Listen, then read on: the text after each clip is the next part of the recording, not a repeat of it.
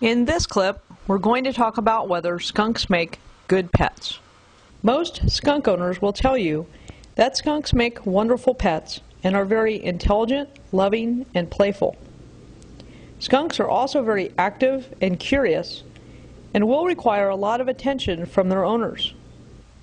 Skunks can also pose a challenge to a new owner by being stubborn and headstrong and not easy to train. Skunks want to do what they want when they want it. Owning a pet skunk is a long-term commitment as skunks in captivity can live for 7 to 10 years. Skunks also need a good, healthy, varied diet, which can take time to prepare and be expensive to buy each month. If your skunk will have the run of your house, then every inch of your home needs to be checked for things that could harm your skunk, like electrical cords, poisonous plants, small items that could be ingested, crawl spaces where the skunk could be stuck or escape, and toilets need to be latched. Skunks can be trained to use a litter box and are very clean animals.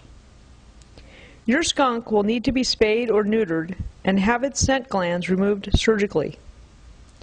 There are no rabies vaccinations available at this time for skunks, so you will need to make sure that your skunk does not come in contact with other animals outside your home.